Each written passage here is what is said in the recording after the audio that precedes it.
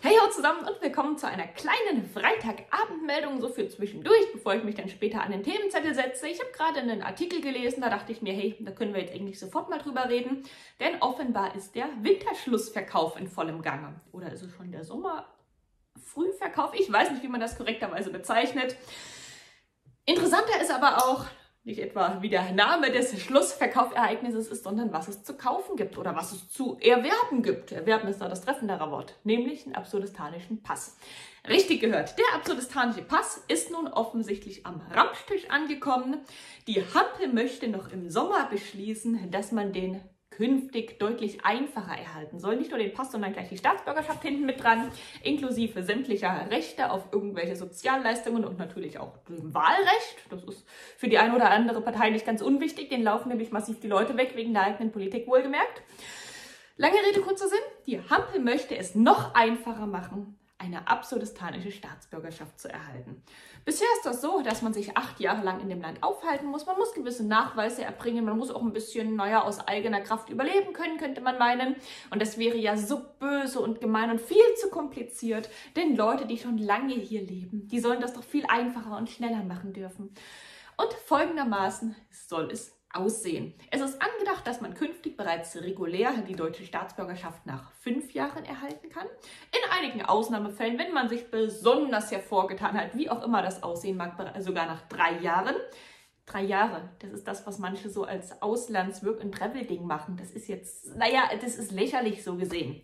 Naja, müssen wir, glaube ich, nicht drüber reden. Nach drei Jahren soll man bereits die deutsche Staatsbürgerschaft erhalten können, unabhängig davon, wie viele man sonst noch hat. Man soll die andere oder anderen künftig auch nicht mehr aufgeben müssen.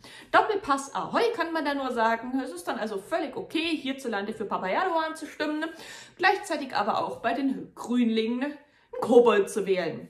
Jetzt ganz überspitzt ausgedrückt. Also eigentlich so buntes zusammengewürfelt, kann man dann in jedem Land einen Pass haben oder überall ein bisschen mit, ein bisschen mitwählen, wenn die anderen Länder das mitmachen. Absurdistan hat da offenbar nichts dagegen. Was die Sprachkenntnisse angeht, ist es ja bisher auch noch so böse und gemein, dass man tatsächlich die Landessprache beherrschen soll. So soll auch das aufgeweicht werden. Denn na klar, man muss ja Nachweise erbringen. Aber ab 67 Jahren reicht es, wenn man sich mündlich verständigen kann. Schreiben ist da dann offenbar nicht mehr erforderlich. Ja, jetzt erschließt sich mir nicht so richtig, warum man mit 67 nicht mehr lesen und schreiben können sollen muss. Also ist doch auch im höheren Alter nicht ganz unwichtig, da vielleicht auch mal einen Text auf Deutsch verfassen zu können, vielleicht mal einen Brief zu beantworten oder wie auch immer.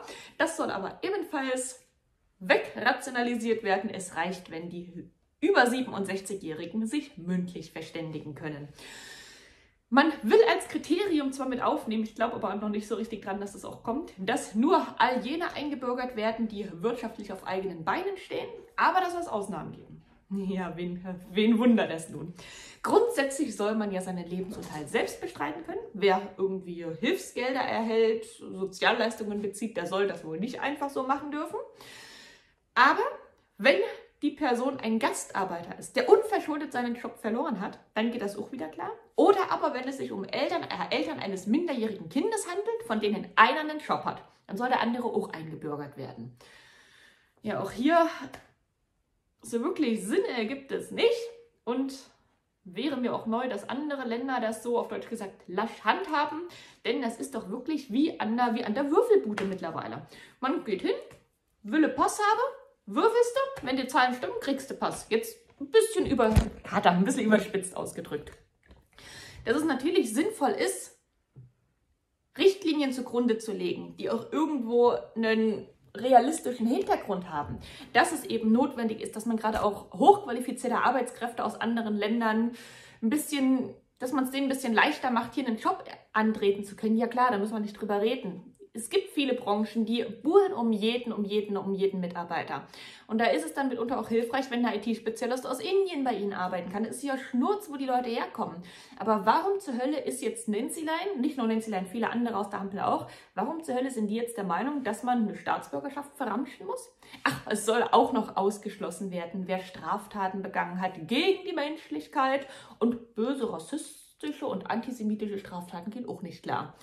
Ja, jetzt hat man hier wieder so ein, so ein Gummi, so eine Gummiformulierung, denn was ist denn bitte deren Meinung nach gegen die Menschlichkeit? Also ich kann da jetzt ein paar Sachen aufzählen, die nach meiner subjektiven Ansicht darunter fallen, aber ich bezweifle irgendwie, dass die Nancy das genauso sieht. Das klingt schon wieder so, ja, wenn ich es brauche, dann nehme ich es und wenn nicht, dann, dann, dann kann man sich da visual irgendwie rumwinden. Also so ein Wischi-Waschi-Ding kann alles oder gar nichts bedeuten. Und was mit Wischi-Waschi-Paragraphen in der Regel geschieht in dem Land, das haben wir in den vergangenen Jahren mitbekommen, nicht wahr? Die wurden nämlich immer dann herangezogen, wenn es der Hampel gerade irgendwo genehm war. Wenn es zulasten der Hampel gegangen wäre, dann hat das plötzlich nicht gegriffen.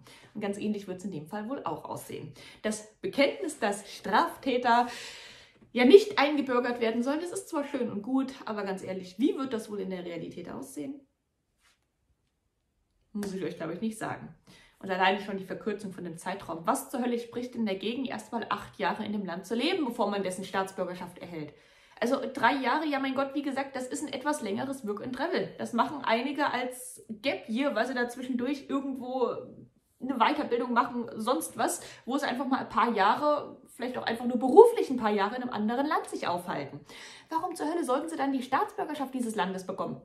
Ja, das funktioniert in anderen Ländern für gewöhnlich nicht so. Also da könnt ihr teilweise 20 Jahre dort leben und arbeiten, da kriegt ihr immer noch keine Staatsbürgerschaft. Weil die es eben dann ein kleines bisschen strenger kontrollieren, wem sie den Pass geben und wem eben nicht. Aber hier in Absurdistan sollen dann künftig drei Jahre ausreichen. Wenn man also ein bisschen reden kann und sich gut integriert hat, dann spricht ja nichts dagegen, dass man auch Staatsbürger ist. Ja. Ist jetzt eine böse, böse, böse Verschwörungstheorie. Aber es würde mich nicht wundern, wenn dann kurz vor den, jetzt nee, vielleicht nicht den nächsten, aber möglicherweise in den übernächsten Bundestagswahlen, hunderttausende neue Pässe ausgestellt werden, Staatsbürgerschaften wohlgemerkt, weil sich da Leute seit drei Jahren im Land aufgehalten haben. Und die haben ja ach, so tolle Integrationsnachweise erbracht. Und just vor der Wahl könnte man ja da vielleicht ein paar hunderttausende, hm? ja, werden wir sehen, ob es dazu kommt oder nicht. Aber vorstellen kann ich es mir, denn das ist wirklich irre. Wer in einem Land leben möchte und das Interesse hat, dessen Staatsbürgerschaft zu erwerben, ja, der hält sich da in der Regel länger auf als drei oder fünf Jahre. Da wären acht Jahre völlig okay. Auch zehn Jahre wären da überhaupt kein Problem. Es reicht auch nach zehn Jahren oder nach 15 Jahren eine Staatsbürgerschaft zu vergeben. Denn dass man mal drei Jahre oder fünf Jahre in einem anderen Land lebt, das ist absolut nichts Ungewöhnliches. Zumindest nicht mehr im Jahr 2023. Aber da sieht man mal wieder, wo die Prioritäten der Hampel liegen. Es geht ja angeblich um den Fachkräftemangel. Es tut mir leid, lieber Hampel, mit dem Fachkräftemangel hat das gar nichts zu tun. Denn da wäre es tatsächlich sinnvoller, nicht das Einbürgerungsgesetz zu überarbeiten, sondern dafür zu sorgen, dass auch qualifizierte Leute aus Drittstaaten, nicht EU-Staaten, Arbeitserlaubgenehmigungen bekommen.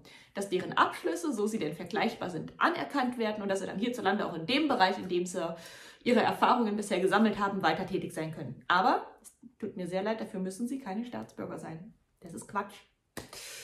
Ja, versucht das mal der Hampel zu erklären, nachzulesen in der Berliner Zeitung, wie gerade gesagt, aber es passt einmal mehr ins Bild.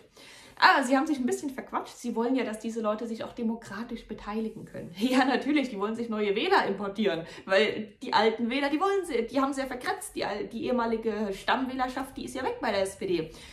Die Grünlinge verscherzen sich auch gerade mit ihren, naja, mit ihren Ideologen, die noch nicht ganz verstrahlt sind. Da ist nicht mehr viel übrig. Über die FDP müssen wir gar nicht reden.